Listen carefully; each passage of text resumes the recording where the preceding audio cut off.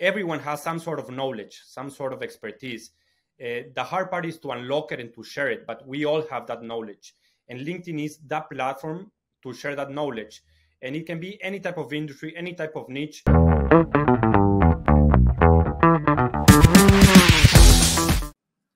Hello everyone, welcome to a new episode of the Influence Factor by the Influencer Marketing Factory. I'm Alessandro Bogliari, CEO of the company, and today with me we have Daniel Markovits, that is the creator and community at LinkedIn. Welcome to the show. Thanks, Alessandro. Ciao. Good to have you, and thanks for the invite. Absolutely. First of all, how is uh, how is your week so far? Uh, what happened in the in the past in the past days? Uh, how how is it uh, this this period of the year with you? Uh, all good. I'm here in London, so it's getting cold, um, but uh, all good as usual. Following the World Cup. I'm from Ecuador, uh, so actually not the best week for us as we lost yesterday. It was a bit depressing, to be fair, but uh, nothing we can do. That's how football is. Uh, but I mean, you're, you're, talking with an Italian, right? That is not even in the World yes. Cup this year, so, so I think that we can. I guess I did better than you, so can't complain. Amazing. And so, first of all, who, who is Daniel? How, how, what is your background? How, uh, what is up now that you're doing at LinkedIn? Can you can you tell me a bit more of your like you know just a few minutes your background and story? Sure. I'll I'll try to give you a quick uh, overview. But uh, I'm Danny, as people call me. Originally from Ecuador, as mentioned, but uh, been uh, living in a couple of countries. So definitely, I'm considering a citizen of the world. Uh, I lived in Israel for a long time, and now I'm currently in London working for LinkedIn. Uh, but in the past, I also worked a long time at a media, media company called Minute Media that I would love to share more uh, during our conversation.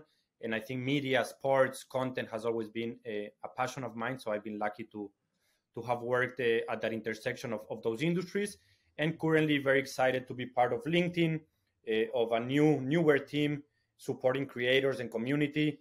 Uh, LinkedIn is definitely making a push uh, in the space, and I was one of the first people in the team building the foundations in the UK and working with amazing creators um, across the world. Yeah.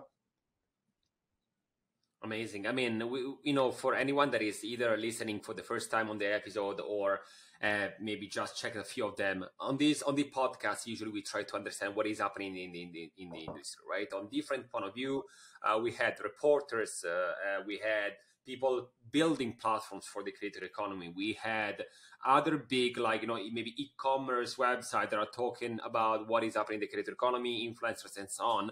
And I'm really happy actually to have someone from LinkedIn today because uh, I, I know that today we're going to talk about you as a professional, and we're also to dip in a bit, you know, like what LinkedIn is doing, but we're to talk about them. But I'm really happy to talk with you because we all can see what LinkedIn has done in the past, I would say, couple of years, and especially in the last year uh, for content creators, giving the opportunity to really like everyone creating content and getting to uh, a bigger reach of people and the right people, right? Because something is to get a lot of views maybe uh, uh, on TikTok, and and I, I, love TikTok, right? But it's a different audience sometimes, and maybe a million of views there um, can be the equivalent of a good hundred views on LinkedIn because it's the right people, professional, right? You are targeting. So, um, how do you think that LinkedIn is changing the, the creator economy in the in the in the past year?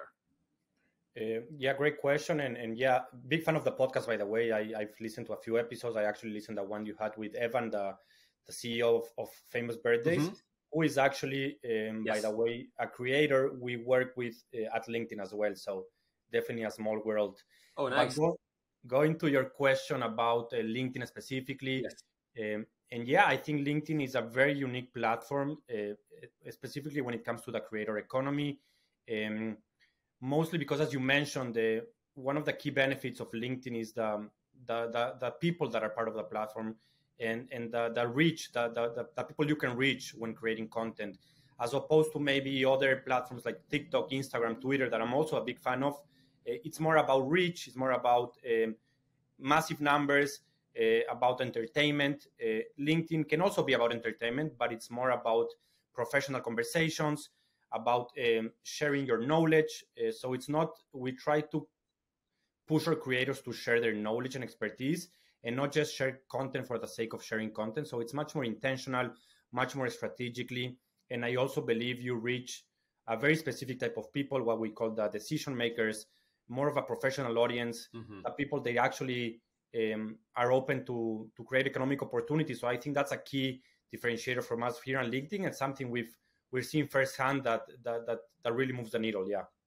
I can see that. I mean, even when I post something, I can see that you have both brand awareness, but you can also drive traffic with to something that you care, right? Could could be this podcast, could be uh, a landing page to download the report, or even just like to make connections. Uh, to be honest, like what I really like about LinkedIn is that uh, even if uh, someone else that is in your network is liking or commenting on some others, you get to the different tiers of networking, and you find out of either content that you didn't know that existed, or you find out about people that you didn't know. So it's not just like a one-on-one, but uh, it is this sort of like, you know, network effect, right? And, and LinkedIn is, is doing a, a great job in that. And uh, um, and also like something that I like it is that everyone can become a, a content creator, right? On, on, LinkedIn, you are facilitating that a lot. You are um, giving more tools. Uh, you are pushing like some other things out there. So why do you think nowadays is also a bit easier for people on LinkedIn? Like the barrier is lower nowadays; it's easier to do.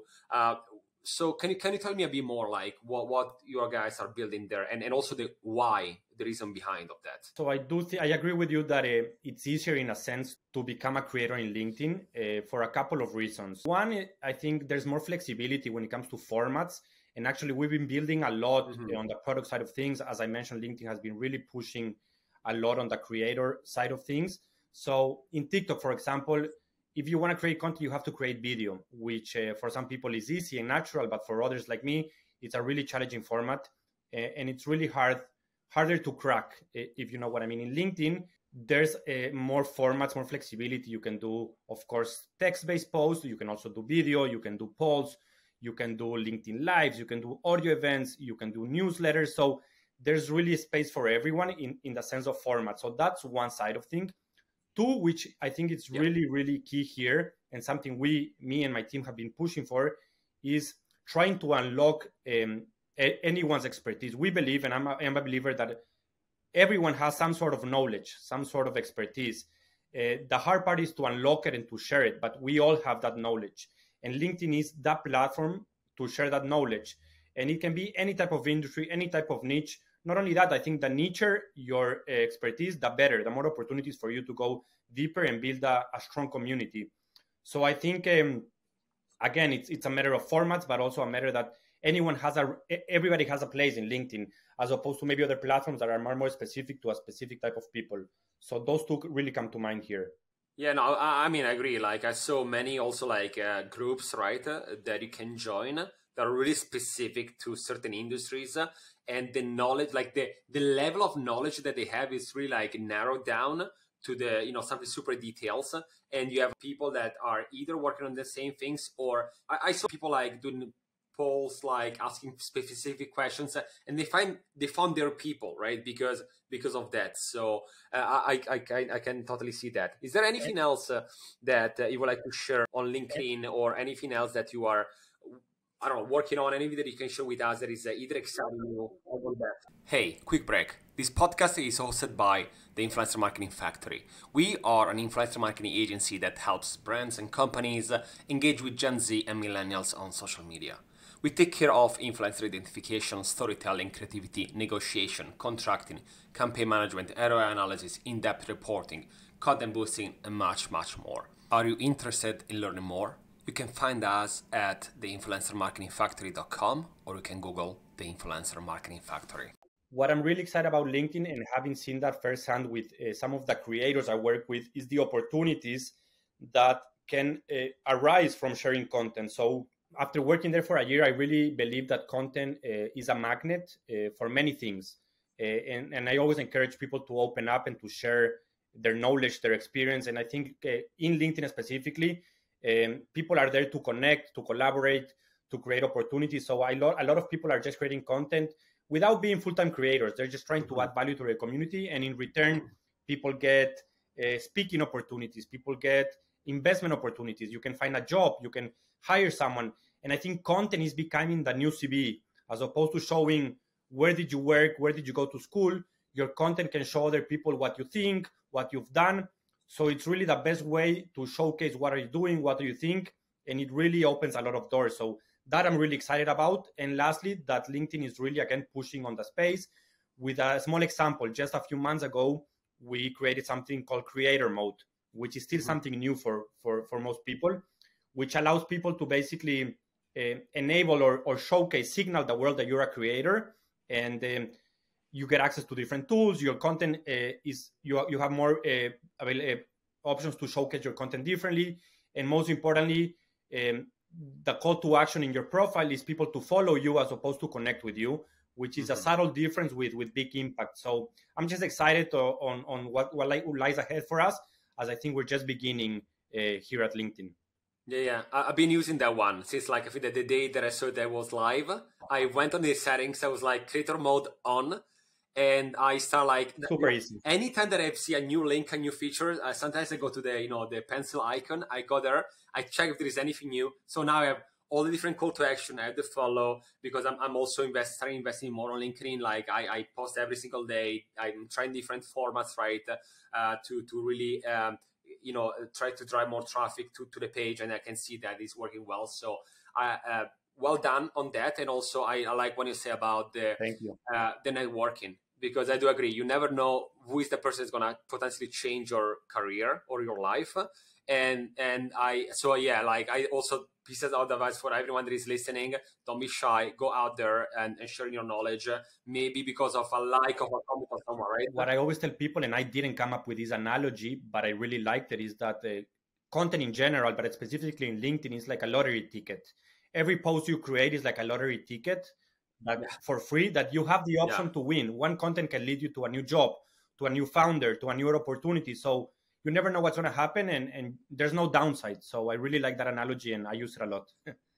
I like it. I like it. No, you're totally right. I think that it's uh, you know one of them can makes makes you exactly. know a big a big difference, right? This is LinkedIn, right? But uh, overall, you as said uh, at the beginning of the of the episode, you also have a lot of experience in media. You work in uh, uh, Minute Media for how many years was it? Eight, seven, eight, nine? Yeah, um, it was my first job out of college um, in Israel, uh, and I was there for uh, more than eight years. So uh, I was lucky enough to join the company early, and, and when the company was still a startup. Now mm-hmm. it's a mm-hmm. pretty big company that owns some very cool brands like uh, 90 Min, the Players Tribune, and some other great brands uh, internationally. Oh, wow. But I was lucky that I was able to do a bit of everything, wear different hats, and really uh, lead amazing projects. So yeah, it was a great experience for me.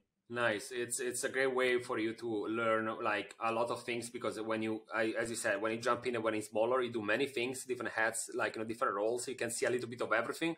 But then when it grows, like you have the opportunity to see it like growing and uh, and, and, learning more, and, and and it helps both of them, right? When it's small, when it's uh, medium, or when it's a bit you know bigger, so you can see different uh, exactly. infrastructure. So in this in those like eight years and even now how did you see um, first of all content changing and also how brands are adapting? Because what i say all the time on the podcast is that we went from big production 40 people in a studio to record a video that cost you millions and now we have content creators from their apartment uh, posting something on linkedin that maybe gets 1 million of views like that for free. So yeah. how how brands are adapting to this I've learned a lot during this experience, and I, I, I, lo- I would love to share how media is changing. But first, it's important to mention how media was a decade ago, which was part of the, the media mm-hmm. industry I was part of, which was really pushing for scale, you know, for numbers. Um, it was, I think, a wrong assumption that the bigger you are in terms of what we call traffic, visitors, the more su- successful you are, which I don't think it's the case. So and and we were guilty in that sense as well, riding the waves of Facebook, of social traffic, um, similar to what happened with BuzzFeed and other great companies that um, were looking for scale and creating hundreds of pieces of content a day, expanding to every country, every market, and just trying to to be number one in Comscore because that will lead you to more advertising. And in a way, it was true, but nowadays these companies are suffering um, because most of their traffic sources were not direct, were not owned. You were depending always on Google, on Facebook, on different algorithms, and you were at the mercy of these algorithms, which happened also to some of our brands. Um, so I think that's really changing. I think nowadays um, I, am very happy to see that many new companies are much more lean, are much more sustainable, um, are much more dependent and focused on who the writer is, on who the journalist is, on who the face is. You know, people, readers um, identify much more with a face than with a logo. So, mm-hmm. and that's why nowadays uh, I'm a huge fan, and, and, I think you agree with me, Alessandro, of, of podcasts, but also of, of newsletters that are coming back to life because yeah. you really make a connection with a writer. You know what they're talking about, you know what's expected, and the quality is just much higher. And you don't need fancy productions, you don't need tons of editorial uh, teams. Uh, you just want good content, and and it's less about scale and more about um, growing sustainable, monetizing sustainably, uh, creating community, and just um, connecting with your audience, which I think uh, was not the case a decade ago. I can see that, and I, I agree. Like uh, people are following other people, right? They are not following necessarily companies. Maybe maybe they do, but yes. the experience, the peer-to-peer connection that we can have, right, is different. So absolutely. And uh, so on that, since uh, you know, as you said, like brands are changing, there's new type of content. People are following sometimes more the reporters slash journalists, more, more even more than the media. If you follow the newsletter because you trust the person, right? So is there any uh, either like do's and don'ts that uh, in your years of experience maybe um, you saw happening, or is there anything? I, any any like little pieces of advice to to recommend to others that want to maybe share content online yeah uh, what works what doesn't i think first uh, what works uh, and if i would have started a media company now it's um, go niche you know you don't need to be a, a if you try mm-hmm. to be everything for everyone you will end up being nothing um, so be stand up for something yeah. choose a niche and then go deep on that niche uh, you don't need to, to have 50 million uh, readers. You can have a sustainable business with a much uh, smaller audience, but that it's really owned by you, that you have a direct relationship, that uh, that they know who you are. Many people uh, back in the day just uh, arrived to websites because of, of, of, algorithms. So that's that's not the right recipe nowadays. Mm-hmm. That's one. Two, it's focus on quality of content and not on quantity. Um, again, much more important to do one piece a week that it's amazing than you know 10 a day that it's that are not really good. So again quality always beats quantity. And yeah own your channels. Uh, invest on owning your channels even if, if it takes time. Don't take shortcuts.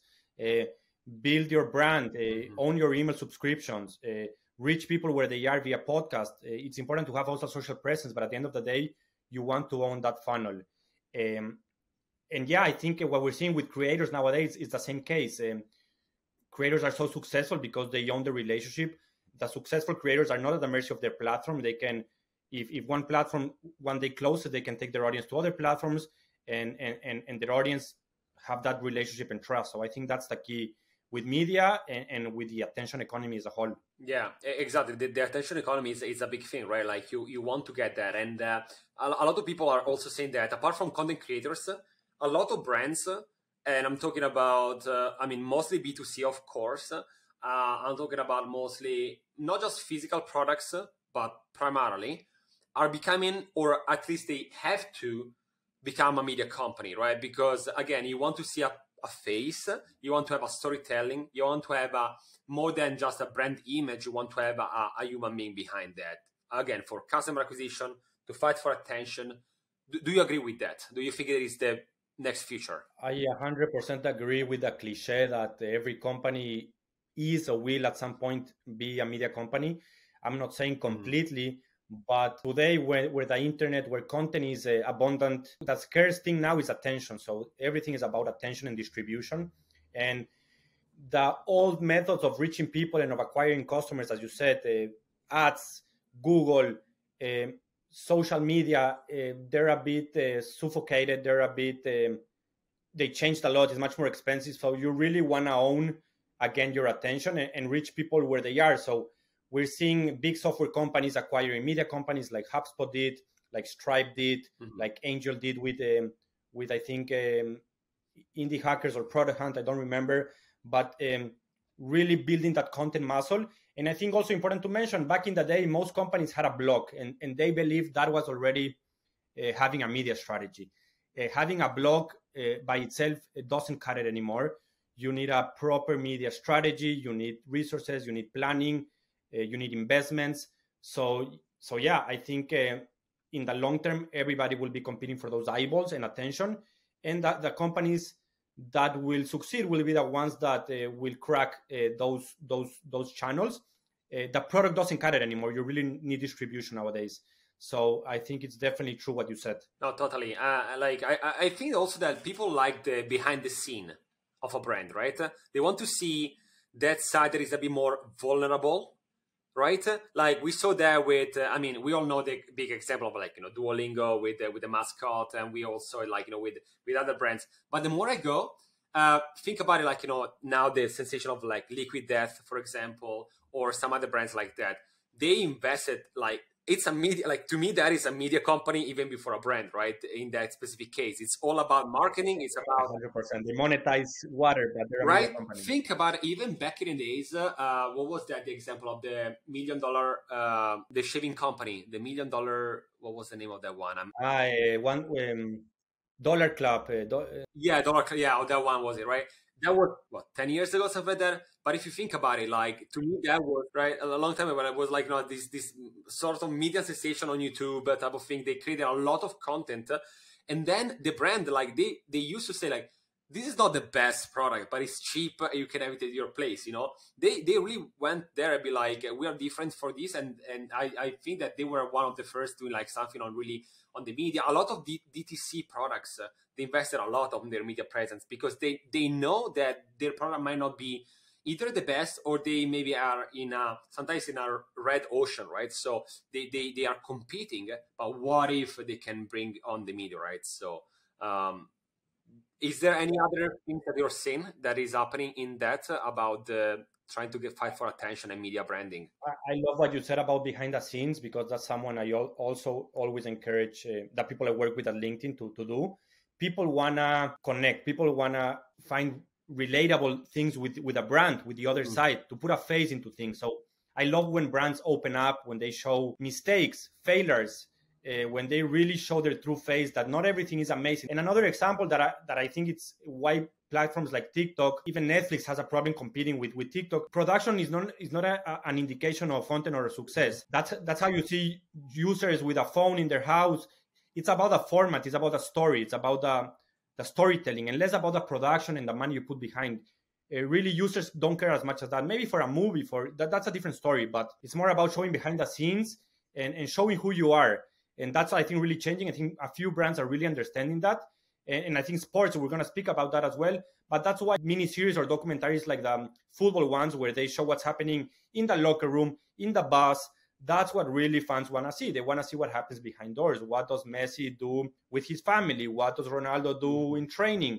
You want to see the day to day, you know, and that's why the whole media industry is changing. Yeah, yeah. You know what? To me, like when you when you said about like players being followed with the camera and talking about their family, this this to me, I don't know if you agree, but to me, seems like that we had the sort of uh, we're going niche with the Kim Kardashian model, right? So we had the, the Kardashians, right? Uh, every single day following them and then became almost meta right because it was just the show about the show right like so there was there was a, a right. me, really meta but i think that we are getting out the model uh, the what we're saying now so we are getting um, all these people like what is the behind the scene or even if it is like still a show right because when you watch this type of thing it's never really that authentic it's still scripted sometimes it's a bit staged you know but I think that we're getting like there, right? So we're looking at these people like, okay, after the game, what happens there, you know? And so these uh, to bring to one of one of your passion. I know that you're really passionate about sports, uh, and uh, and I wanted to ask you about that because nowadays, uh, uh, yeah, people follow the games, but as as you were mentioning before, people follow follow also like people, right? Other people, the players and the coach and everything. Yeah. How is it changing the sports and media? sports and media is changing in, in many, many ways. One that I think uh, an obvious one is that create um, athletes, but also teams mm-hmm. are be, and leagues are becoming uh, publishers in their own way. Um, so they're becoming content franchises, publishers. Um, you can see everything that the NBA is doing, that Manchester City is doing, um, not only showing the game, but showing behind the scenes, creating content for a, a specific platform. So every team, league, and player uh, understands the power of reaching their audience and, and becoming a media company. So that's mm-hmm. one. And also athletes. You can see why the NBA has been so successful compared to the NFL or the MLB is because of the amazing work that teams and players have been doing on, on social media. Um, they have really gone above and beyond with different formats, with different ideas. I love, for example, the NBA. When I don't know if you're a fan, but when, when they do, they put microphones in the players during the games, so you mm-hmm. can hear the players talking. You know, uh, that's what the fans want to see. They want to see the real shit, what's happening yeah. for real. Uh, so that's just one example of how um, sports and media are converging.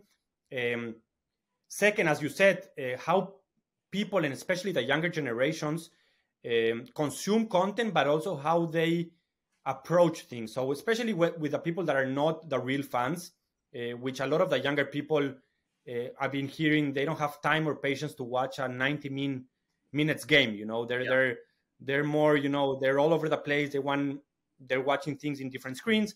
So the other day I was watching a Mexican creator. Uh, instead of watching the game in the stadium, he was just showing himself the whole game, and that's a mm-hmm. famous format. And he had like two million people uh, in the stream, and the whole people following him are not watching the game; they're just watching him. So people care. These people wow. care le- less about what happened in the game and more what this creator was doing, celebrating, chanting, cursing. Um, so that's a it's a crazy thing for me, but I think that's a big shift on what's happening in sports, but also in media as a whole. You said two million people like at the same time, like yeah, concurrent. Wow, that's incredible. Um, I mean, it's, it's so not that easy I think, to get two million people. No, no, like I'm talking about big creators, but wow. it's just an example of how things are changing. And I think people, again, not the biggest fans, really care about what happens, less what happens in the pitch and more what happens before the game, after the game. Um, and then you're also seeing a lot of partnerships developing in the space. For example, Snapchat and UFC did a partnership. The yeah. NFL and Dude Perfect, which is a famous YouTube channel, did a cool partnership. And ultimately, one that is really relevant for now that I thought was genius is the FIFA partner with YouTube um, to give the rights to a few YouTubers to broadcast the games.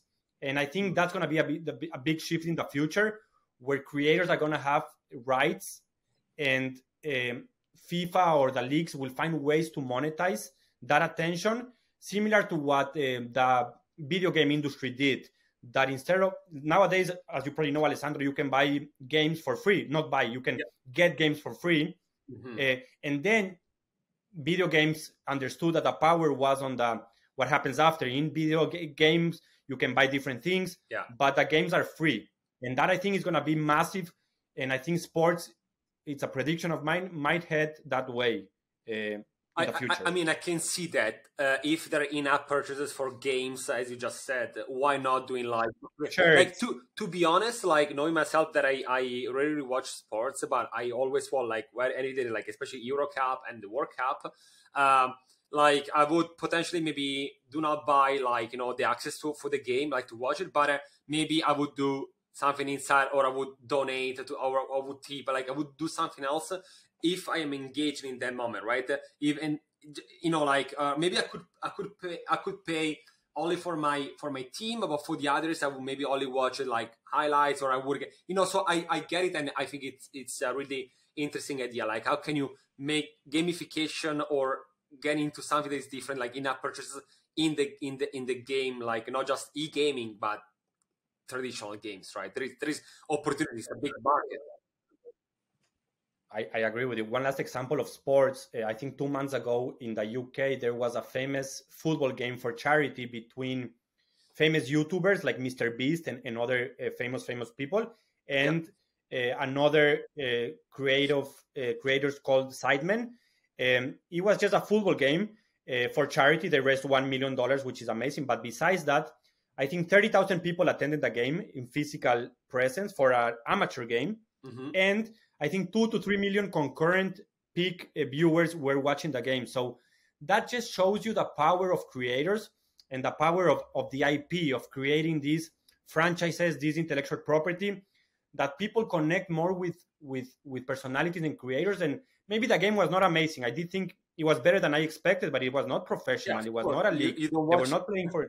You don't watch that for the. They're not players, like you know. It's no. It's more for the for the experience, for the creators you follow, for the banter, and it was just a massive success. And this is just the beginning of what's going to happen with creators and. and I mean, sports. it's the same. Uh, I don't know if it happens uh, all over the world, but in Italy we have a lot of uh, uh games where actors uh, or singers uh, they play, and it's for yeah. charity.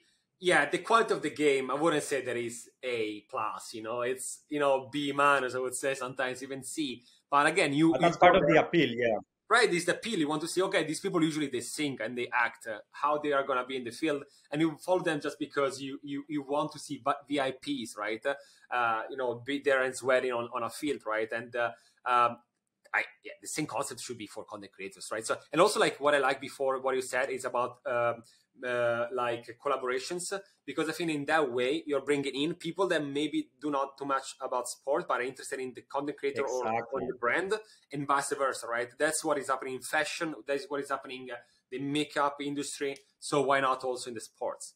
Agüero is another example. He's now working with Star Plus and he he streams games. He he streams uh, and people just I prefer to watch Agüero narrating a game or uh, explaining things happening as opposed to a real commentator being super serious.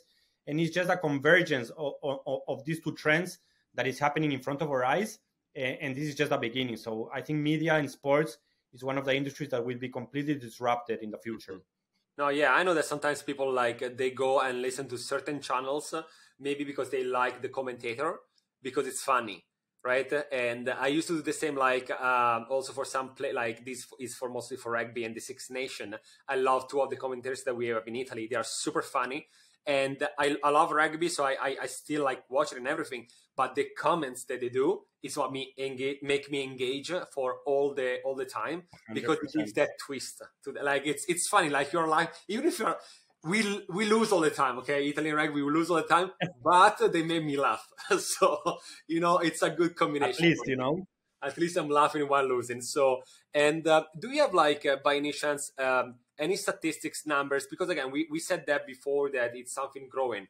But uh, is there anything that specifically you have like when it comes to sports uh, and and media? Anything that either shocked you, surprised you when it comes to numbers? Yeah, I think one that comes to mind that I was seeing that I think I mentioned the Snapchat and, and, and did a partnership with UFC, but I think also Snapchat. I read that last year around 200 million people watch sports content in Snapchat. So I think uh, leagues and teams are being very, very smart about who to partner with and how to go where their audiences are, especially with a younger generation. So that was a, a very interesting stat. And the other one that I just shared with you again, the, the, the charity match between Sidemen and YouTube was a massive win, not only because they raised money, but how many people went to the stadium, how many people watched the game uh, uh, online. Um, and again, I think this is only the beginning, and um, I'm very excited about this space specifically. And you can see also what's happening with Amazon uh, broadcasting Premier League games. Netflix announced that they, they will go into real li- uh, television as well. So there's a massive shift from linear to streaming and uh, everything is converging in a way. yeah, and 200 million you said before, right? On Snap. Yeah, 200 million. That's that's a big number. Uh, that's that's a big number. yeah, it is. Sometimes when I look at not like a millions, I know that like uh, compared maybe to other countries like China and India, it's small numbers. When you when you see that, especially in the in the US, uh, that is what a little bit less than 350 million in population, and uh, you yeah. know Europe combined with different like countries is still like smaller numbers compared to Asia. 200 million, it's it's a big number actually. Just like to on on, on a specific platform, right? It's a big number, and uh, and yeah, I think um, it, it's only the beginning. Is there anything else uh, that I either didn't ask you today, or anything else excited you, like uh, that uh, you are working on, or do you would like to see happening in the in the next future? Something uh, that definitely excites me, and that I've been kind of uh, going into the rabbit hole, it's everything that's happening with AI, uh, specifically around media. Mm-hmm. And there has been a huge buzz in the last months of different tools um, coming up um, that really do magic. I don't know if you've played with some of them, DALL-E, Stable, yeah. Midjourney. Uh, and I think the key here is how it's going to um, impact creators and um, the media world. Uh, it's hard to, to, to, to, to predict, but I think it's going to be a massive um, player in the space. So I'm just very curious to see what's going to be the role between humans and, and AI. Is it going to be a collaboration. I don't think AI will ever replace creators as a whole, but they're definitely going to be. There's no way to avoid it anymore. I think it's happening. It's just a matter of how we implement and how we um, work with it and how we really make sure uh, we use it for good. But it's definitely something that um, I'm really looking close and that I think it's going to touch all industry. But in my world, um, it's definitely going to play a big role as well. So wanted to hear your opinion as well. But it's definitely something I'm I'm very much um, uh, looking. Yeah, no, see. I I can see that. I've been myself so on these for anyone that is interested. Actually, we do have uh, an episode with the founder of Lightricks, that is the conglomerate that has all apps like Facetune, Videoleap, and others. And we went on, uh, um, you know, um, just like an analysis of what is happening in the AI, and we went through exactly these, like text uh, to image, text to video um, all the different like you know tools that you can use uh, and we went like okay what how content creators can use this? Because someone can say this is disrupting the industry. Some others are saying actually no this is actually be a big help for content creators to reinvent themselves can facilitate things so i also do agree that uh, of course like you know certain things in the gig economy that you had to go on let's say on fiverr and some other places and had to pay someone now you can easily yeah. do it by yourself but uh, it's just the history of technology. There is all the time new things, and instead of being like afraid or like scared or be like reluctant about things, I think that you should just embrace them and be like, okay, how can we use them in a good way? And I'm pretty sure that we're gonna be used not just for content creation when it comes to AI, but really to make certain things that now we have to make manually just automate them and we're gonna just have a, a better mm-hmm. life on that and we can use our brain to do other things instead of doing things that we can do with ai so i see it as a as a big help. Apart from all the content creation but just a help in general so that we as human beings we can use your, our brain for something where we, we have to think more than just input output. You know what i mean?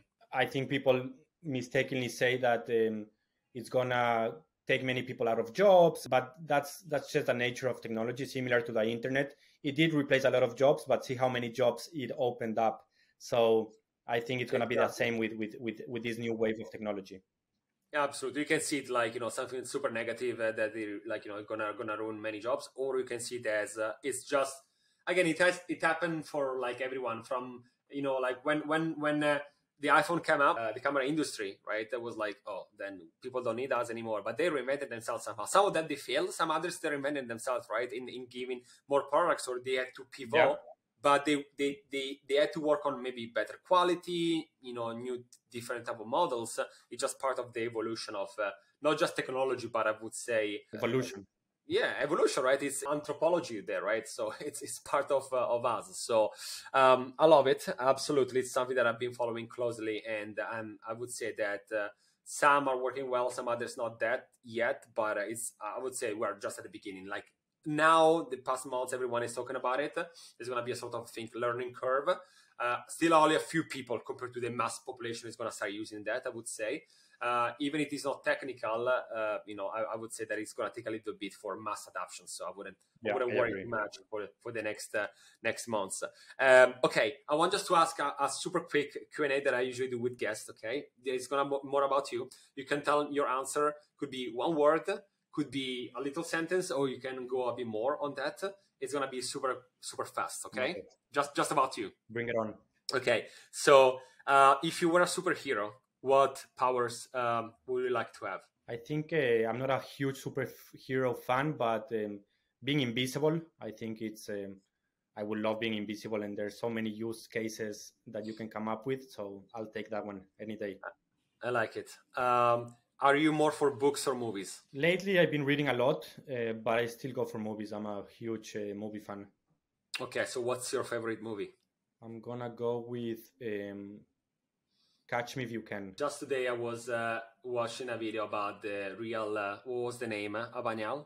That's a coincidence. It's not a very common answer for this question, but I, I it's a, a, movie I really like. Okay, tomorrow you you win the lottery. It's 10 million cash just on you, so you didn't have to work for it. What do you buy? First thing. I think I will buy a top house. I think that's a good investment. Uh, really, a, a, cool house, maybe in the beach, mm-hmm. and um, yeah, I mean, it's That's a city investment. safe one, right? Safer investment, and I wouldn't regret it, as opposed to maybe cards or toys. okay. And what is your favorite food? You're gonna like my answer. Um, Italian. I can eat Italian every day. I'm gonna go with a classic pizza. Uh, mm-hmm. There's no day that I cannot eat pizza. Yeah, that's a big yes for me. You're not the first one on the pod to say pizza, and I'm really, really I'm happy sure about it. really happy to hear that. Okay. Um, last two. Would you prefer to breathe underwater or fly? Fly. No one is no uh, telling me breathe underwater like so far. Everyone is flying. I also am on flying, so um, I still ask. I'm curious to see if anyone is gonna get gonna get back to me with the bread underwater. But I, last one, book smart or street smart? Street smart. And also, this is like majority of people are on the street smart. Maybe it's the people coming on the podcast. I don't know, but so far it's mostly street smart, and and I love it. I, um, that, I mean, I wish I was smarter. So I'll take the street any day. we can, we yeah, we can use that one like uh, uh, for uh, like yeah, I wish, but I'm gonna go with the street smart and uh, no, but I love it. Uh, Danny, thank you so much for joining me today. You brought a lot of knowledge. I hope you liked it, uh, sharing more with the audience today. where where can people find you? I, I, I guess on, on LinkedIn. first of all, thanks, Alessandro. Really great conversation. I really enjoyed it. Um, and yeah, I think LinkedIn is a, an obvious one share, connect with me, follow me. Uh, and if you need any LinkedIn related questions, I'm more than happy to help uh, with anything. Fantastic. Again, thank you so much. This was the Influence Factor by the Influencer Marketing Factory. Subscribe to the channel. We're going to have other amazing guests like Danny today. And I'll see you in the next episode.